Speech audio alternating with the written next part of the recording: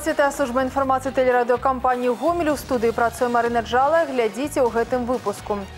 Спякотнае надвор'е ў Гомельскай вобласці загінула каля 58 тысяч гектараў пасеваў сельгаскультур. Новы выгляд брагі на ўрайцэнтры працягваюцца маштабныя работы па добраўпарадкаванні. У пошуках працы сёння ў Гомелі прайшоў кірмаш вакансій. А зараз аб гэтым і іншым больш падрабязна. За спякотнага надвор'я ў гомельскай вобласці загінула каля 58 тысяч гектараў пасеву сельгаскультур. У тым ліку прадукта нумар адзін збожжа. Сярод найбольш пацярпелых раёнаў Петрыкаўскі, Светлагорскі, Жлобінскі, Рэчыцкі.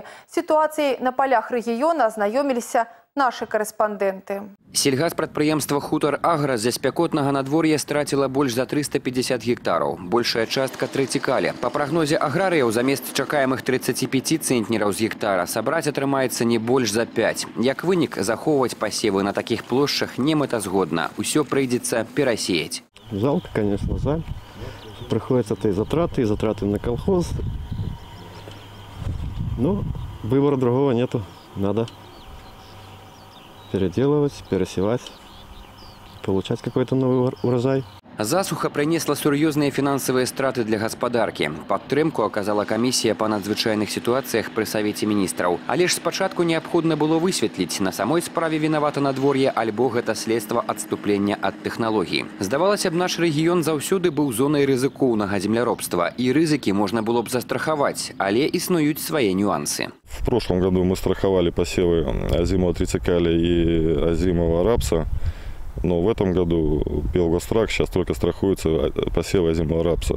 Озимый трицикалий уже не подлежит страхованию, поэтому буквально с этого года эта культура уже не страхуется. На прадпрыемстве ўсё ж такі знаходзяць выхад. Недаспелы ўраджай пойдзе на корм жывёле. Такім спосабам выратаваць хоць нешта спрабуюць не толькі ў светлагорскім раёне. У некаторых дажджу не было каля двух месяцаў. Тэмпература паветра ў некаторыя дні перавышала норму на 7 градусаў. Гэта стала абсалютным рэкордам за ўсю гісторыю метэаназіранняў. В этом году критическая ситуация в настоящее время сложилась в Гомельской области именно с погодными условиями. Те районы, которые у нас имеют большей степени песчаной почвы, наиболее пострадали. Это у нас Жлобинский, Светлогорский район, Речица, Петриков. В этих районах наиболее сложная ситуация. У нас в двух районах зафиксировано опасное метеорологическое явление, именно почвенная засуха. Это Житковичи и Жлобин. Там уже гидромет поставил категорично вывод. Па апошніх дадзеных каля 58 тысяч гектараў пасеваў сельгаскультур у рэгіёне загінула. І кожны дзень гэтыя лічбы могуць змяняцца. Таму што прагнозы не суцяшальныя. Істотных зменаў надвор'я не прагназуецца. Ганна Кавалёва, Сергей Нігерэвіч, Валерый Гапанько, тэлерадыёкампанія «Гомель» пры падтрымцы агенцтва «Тэленавін». Гомельшчына самы лясісты рэгіён Беларусі. У спякотныя летнія месяцы лясы становяцца месцам адпачынку.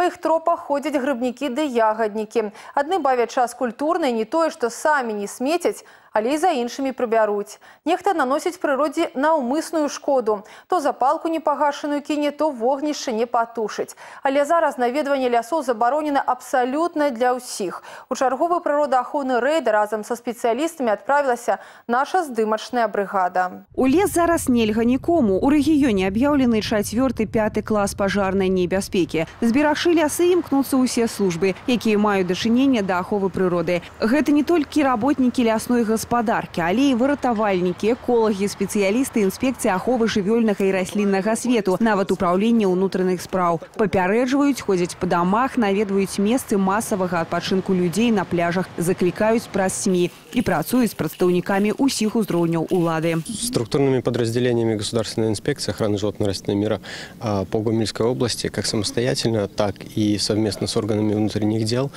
на постоянной основе проводится рейдовые мероприятия по профилактике противопожарной ситуации в области. Проводятся беседы с населением, раздаются листовки. В основном эти мероприятия проходят в выходные дни, праздничные дни, когда скопление людей в местах отдыха, в лесу, на речке максимальное. Данные мероприятия будут продолжены до установления благоприятных погодных условий. З пачатку года ў лясах гомельскай вобласці адбылося амаль 100 пажараў. Гэта ў сем разоў больш, чым за такі ж леташні перыяд. Для іх выяўлення і аператыўнага тушэння дзейнічаюць пажарна-назіральныя вышкі, абсталяваныя камерамі відэаназірання. Імі ахоплена каля 95% лясных плошчаў. Разам з тым захаванасць прыгожых і велічных лясоў гомельскай вобласці залежыць менавіта ад кожнага з нас. На каго не дзейнічае маральны аспект, той будзе плаціць за парушэнне штраф. Наведванне лесу ў забаронены перыяд можа абысціся пакараннем у 25 базовых велічынь, а гэта больш за 600 рублёў. Зразумела, у бюджэце кожнай сям'і такая сума лишней не будзе. Основной акцент делается это на изменение мировоззрения граждан э, к безопасности. К сожалению, сегодня граждане не понимают, что лес – это национальное достояние, и посещая его, они нарушают те требования, которые установлены, и тем самым это приводит к пожарам. Видите, что погодные условия сегодня сложились очень сложные. Э, На территории Гомельской области ранее уже возникали пожары, сложные пожары, которые перерастали в верховые и угрожали населенным пунктам, которые размещаются в лесных массивах. Поэтому МЧС сегодня видит необходимость именно собрать всех субъектов профилактики правонарушения, которые должны работать в лесах, э, и именно направить их на освещение в средствах массовой информации э, той работы, которая проводится с гражданами, и та ответственность, которая сегодня за нарушение э, установленных правил в лесах, поведения в лесах, установлена до граждан. Падрабязны сюжэт на гэту тэму глядзіце ў нядзелю 17 чэрвеня ў праграме навіны тыдня на тэлеканале Беларусь 4 Гомель. Марына Джала, Настасья Кучынская, Сергей Лукашук, тэлерадыёкампанія Гомель. Раённы цэнтр Брагі набывае новы выгляд. Зараз тут працягваюцца маштабныя работы па добраўпарадкаванні і капітальнай рэканструкцыі асноўных аб'ектаў сацыяльнай сферы. Сёння гарадскі пасёлак наведаў Олег Сенцюроў. Брагінская сярэдняя школа ў гэтыя дні практычна ўся ў будаўнічых лясах. За час школьных канікулаў неабходна прывесці ў парадак фасад і капітальна адраматаваць спартыўную залу. Пасля завяршэння рамонтна-будаўнічых работ на тэрыторыі школы запланаваная яшчэ і работа па добраўпарадкуні. Апрача таго у школе вырашылі замяніць практычна ўсе вокны. У першай палове двухтысячных, калі здавалася новая прыбудова, вокны ў ёй зрабілі яўна з парушэннем усіх існуючых тэхналогій. Ва ўсялякім разе падчас дажджоў вада без праблем трапляла ў класы. Цяпер гэтая проблема повинна быть вырашена. Контроль за якостью работ постоянный. Делают э, два детских сада, гимназию и школу. Качество выполняемых работ на достаточно хорошем уровне, контролируется ежедневно. И руководителями учреждений, и мной, и начальником хозяйственной группы централизованного обслуживания. У Брагіне кажуць, што сёння тут працуе ўся краіна. Калі гэта і перабольшванне, то не вельмі значнае. У сялякім разе на аб'ектах можна сустрэць спецыялістаў з Мінска, Гомеля, Мазыра, Рэчыцы. Тэрміны, адведзеныя для правядзення капітальных рамонтаў, даволі сціплыя. Раённы дом культуры, напрыклад, неабходна здаць у эксплуатацыю ўжо ў сярэдзіне наступнага месяца. У мясцовых работнікаў культуры вялікія планы. ДК павінен стаць цэнтрам культурнага жыцця Брагінчыны. Яшчэ адзін аб'ект гэтай сферы дзіцячая школа мастацтваў. Тут работы таксама вядуцца з раніцы і да вечара. Брагінская дзіцячая школа мастацтваў існуе амаль 4 дзегоддзя, але толькі сёлета атрымала ўласны будынак. Хутка на ім зробіць дах, потым пачнуцца ўнутраныя работы. 1 верасня сюды прыйдуць каля 100 навучэнцаў. Некалі, дарэчы, тут была аптэка, потым будынак некалькі гадоў увогуле ніяк не выкарыстоўваўся. Два тыдні таму Брагін наведала дэлегацыя італьянскага горада Бейнаска. Падчас візіту бакі падпісалі дагавор аб дружбе і супрацоўніцтве. Напрыканцы мінулага тыдня на цэнтральнай плошчы гарадскога пасёлка прайшоў раённы баль выпускнікоў. Гэта толькі некаторыя факты, якія яшчэ раз пацвярджаюць. Брагін глядзіць у будучыню з аптымізмам. За сваю 870гадовую гісторыю гэты населены пункт уваходзіў у склад розных дзяржаў ад кіеўскага княства да савецкага саюза. За гэты час у яго гісторыі былі розныя старонкі, але сярод бадай самых значных трагедый аварыя на чарнобыльскай атомнай станцыі, пасля якой Брагін планавалася поўнасцю адсяліць, а пабудовы знесці. Тым больш аптымістычна ўспрымаюцца сённяшнія планы па добраўпарадкаванні. Дарэчы, на бліжэйшую суботу тут запланавана гарачая тэлефонная лінія са старшынёй райвыканкама, падчас якой мясцовыя жыхары змогуць выказаць свае заўвагі і прапановы. В начале 90-х годов, когда все думали, что люди будут уезжать, все, в Брагине прас- практически ничего не делалось. Ни стройки, э, ни уборки разные. Все люди сидели на чемоданах. На сегодняшний день я вам хочу сказать, что да, красивый стал центр. Очень хорошо, э, что у нас проходят по четвергах каждый раз субботники. Все организации выходят, все, чистота, порядок. Так что благодарим власти за это, за то, что стали уделять большое внимание возрождению нашего Брагина. Олег Сентеров, Евгений Макеенко, телерадиокомпания «Гомель» с Брагином. Сёння адкрытае акцыянернае таварыства гомсельмаш правяло агульнагарадскі кірмаш вакансій. Традыцыйны дзень прадпрыемства прайшоў на базе ўправлення па працы, занятасці і сацыяльнай абароне гомельскага гарвыканкама. Беспрацоўныя і незанятыя ў эканоміцы грамадзяне змаглі даведацца аб прапанаваных прадпрыемствам адкрытых працоўных месцах. Прадстаўнікі адкрытага акцыянернага таварыства азначылі, што сёння прадпрыемства мае вострую патрэбу ў кваліфікаваных працоўных кадрах, станочніках, шырокага профілю. Гэта аператары станкоў, наладчыкі, токары, фрэзіроўшчыкі і слесары. Зараз на гомсельмашы адкрыта 20 вакантных працоўных месцаў. Адкрытае акцыянернае таварыства гатова для новых суіскальнікаў забяспечыць поўную занятасць. Кваліфікаваныя рабочыя могуць разлічваць на зарплату ў 900 рублёў і вышэй. У верасні на прадпрыемства прыйдуць каля 200 маладых спецыялістаў, але ўжо зараз неабходныя вопытныя кадры, якіх не трэба вучыць станочнай працы. На кірмашы нашы вакансій жадаючыя працаўладкавацца на прадпрыемства даведаліся аб графіках працы сацыяльных гарантах і выпрабавальных тэрмінах цяпер суіскальнікі змогуць ужо без субяседавання звяртацца на прадпрыемства ў кадравы аддзел в рамках потребности нашей страны во исполнении поручения главы государства мы выполняем э, задание республиканское по обеспечению нашего сельскохозяйственного комплекса конкурентоспособной техникой. И вот э, столкнулись, можно сказать, с дефицитом, с острой нехваткой квалифицированных рабочих кадров. И с этой целью мы обратились за помощью Управления по труду, занятости, социальной защите Гомельского грузполкома. Ну и могу сказать по своему опыту, что подобного рода мероприятия ну, имеют такой, скажем, положительный э, результат э, по одной причине, что именно в одном месте в одно время встречаются и наниматель, и соискатель. Збор добраахвотных ахвяраванняў на десяткі дабрачынных праграм, арганізацыя акцый па падтрымцы цяжкахворых дзяцей, гуманітарная дапамога сем'ям. Гэта толькі частка напрамкаў дзейнасці гомельскага абласнога аддзялення рэспубліканскага грамадскага аб'яднання беларускі дзіцячы фонд. Сёння арганізацыя азначыла 30 гадоў са дня свайго заснавання. Урачысты сход з нагоды юбілею арганізавалі ў гомельскім абласным палацы творчасці дзяцей і моладзі. 30 гадоў добра і міласэрнасці. Па такім дэвізам адкрылася святочная сустрэча гомельскага абласнога аддзялення беларускага дзіцячага фонду. Павіншаваць арганізацыю з юбілеем прыехалі сем'і, якім дапамагаў дабрачынны фонд, педагогі, арганізацыі, установы і прадпрыемствы спонсары, неабыякавыя да праблем дзяцей. Штогод абласное аддзяленне беларускага дзіцячага фонду акцыямі і дабрачыннымі праграмамі дапамагае больш як 12 тысячам юнакоў і дзяўчат. Гэта падтрымка дзяцей-сірот, дзяцей-інвалідаў, дапамога ў творчым развіцці юных талентаў з малазабяспечаных сем'яў. 30 гадоў абласная дабрачынная благодійная организация дапамагала сотням маленьких жыхароў региона оздоровиться за мяжой и на территории Беларуси. Как всегда, соберем школьный портфель. Вот-вот э, предстоит большая деятельность. Дальше экология э, и э, дарование 21 века. Это у нас постоянная акция, и в октябре-ноябре она состоится. Ну, естественно, новогодняя наши дети. Э, кроме того, мы э, проводим новую такую акцию «Точка роста», помогаем детям, которые талантливые, но из э, сиротских семей или находящиеся в социально опасном положении по поступлению их в вузы или, может быть, в лицей. В Гомеле очень много проходит проектов, и самое важное и самое главное, что за эти 30 лет Белорусский детский фонд стал авторитетной организацией.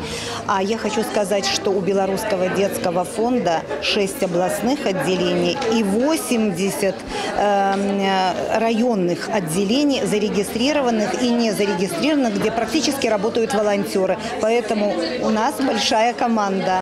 Сёння азначаецца сусветны дзень донара крыві.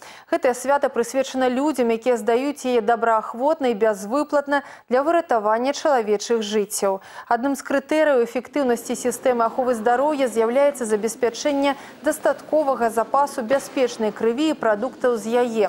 Ён можа быць створаны толькі за кошт рэгулярнага, добраахвотнага і безвыплатнага донарства. Патрэба ў крыві і яе кампанентах маецца заўсёды, і гэта нельга нічым раўнацэнна замяніць. Пераліванне крыві неабходна пры правядзенні складаных медыцынскіх умяшанняў, нованароджаным з цяжкімі паталогіямі, цяжарным жанчынам з вялікімі кровастратамі і пры розных іншых складаных абставінах. Штогод гэта дазваляе ратаваць мільёны чалавечых жыццяў. Лепшага шматдзетнага тату выберуць заўтра ў гомелі. У гарадскім цэнтры культуры пройдзе фінал конкурсу таты малайцы, прымеркаванага да міжнароднага дня таты. За званне лепшага пазмагаюцца пераможца адборачнага тура. Журы будзе ўлічваць творчы характар і арыгінальнасць выступлення кожнага ўдзельніка, а таксама мастацкае афармленне нумароў.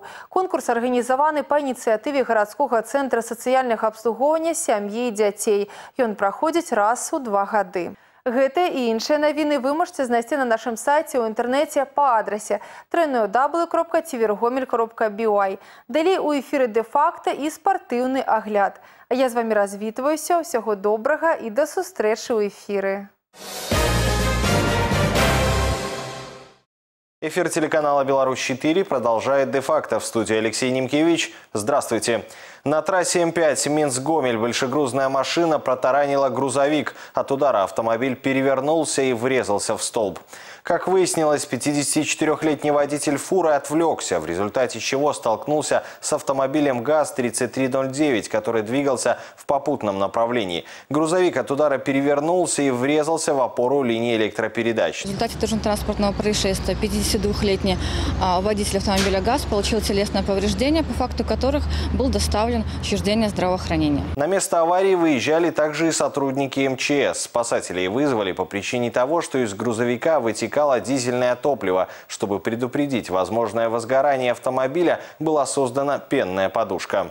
Сотрудники ГАИ Октябрьского РОВД при проведении рейдовых мероприятий на территории Калинковичского района задержали автомобиль с незаконно перевозимым грузом. В салоне остановленного Volkswagen нашли 15 литров спиртосодержащей жидкости и 20 бутылок горькой производства Российской Федерации. Соответствующих документов у водителя не нашлось. По данному факту проводится проверка. А в Будокошлевском районе выявлен факт хищения 80 килограммов комбикорма с территории молочно-товарной фермы и Вольск, которая относится к предприятию Кривск.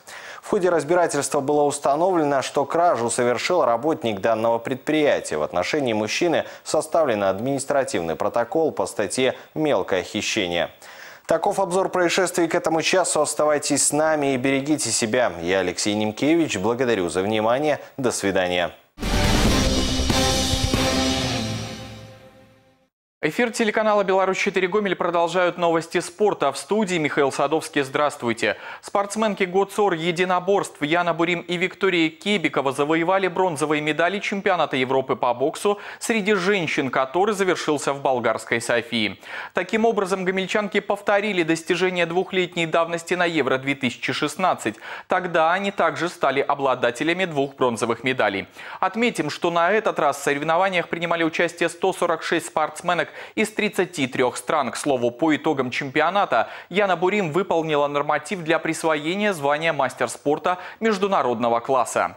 Завершился 11-й тур чемпионата страны по футболу высшей лиге. Футбольный клуб «Гомель» свой поединок провел на выезде против лидера первенства Борисовского «Батэ». Как и ожидалось, зелено-белые не смогли зацепиться даже за ничью. Итог – первое крупное поражение в нынешнем чемпионате со счетом 0-3. К сожалению, у футболистов Гомеля не получилось прервать неудачную серию на Борисов-арене. Хозяева с первых минут активно пошли в атаку и завладели территориальным преимуществом. Счет был открыт на 28-й минуте. Отличился Александр Филиппович. Буквально через пару минут Игорь Стасевич, некогда игравший за Гомель, удвоил преимущество борисовчан. Точку в матче поставил Мирка Иванич на 69-й минуте. Как результат, очередная уверенная победа Батэ 3-0. Следующий поединок зелено-белые проведут в понедельник, 18 июня на домашнем стадионе против команды Смолевичи.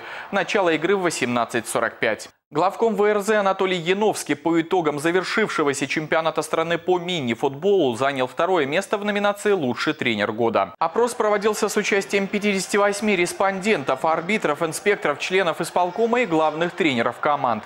Лучшим признан наставник Литсельмаша Виктор Торчило, который привел свою команду к золотым медалям чемпионата и в финальной серии одолел ВРЗ. Завтра в Гомеле стартует 23-й открытый республиканский турнир по вольной борьбе на призы заслуженного мастера спорта СССР Сергея Смаля. Соревнования будут проходить на протяжении двух дней во Дворце легкой атлетики. За награды поспорят как спортсмены из Беларуси, так и ближнего зарубежья. Возраст участников от 16 до 20 лет. На этом пока все. С новостями спорта вас знакомил Михаил Садовский. Оставайтесь на Беларусь 4.